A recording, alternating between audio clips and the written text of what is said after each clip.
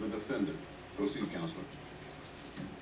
Please tell the court how you happen to know the defendant, Lorna Morello? We went on one date. I met her at the post office. We had a coffee. And that was the extent of your relationship? I wasn't interested in pursuing things further.